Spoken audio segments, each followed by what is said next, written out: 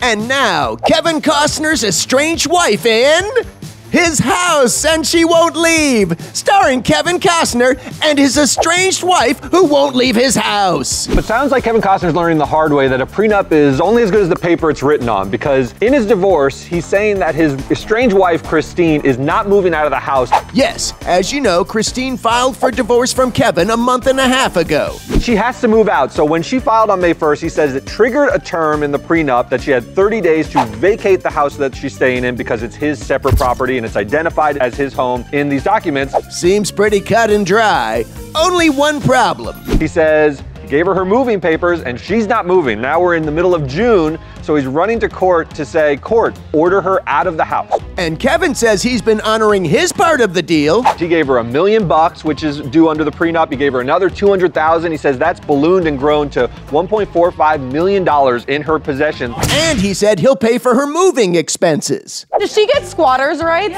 If your stuff is there, you get to stay. If What? you leave one piece of your furniture there, you stay. Bad legal advice!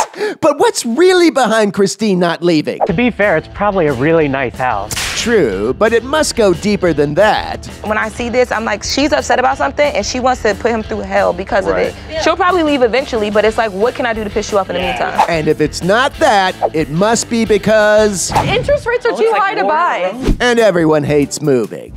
Good luck on evicting your estranged wife, Kevin!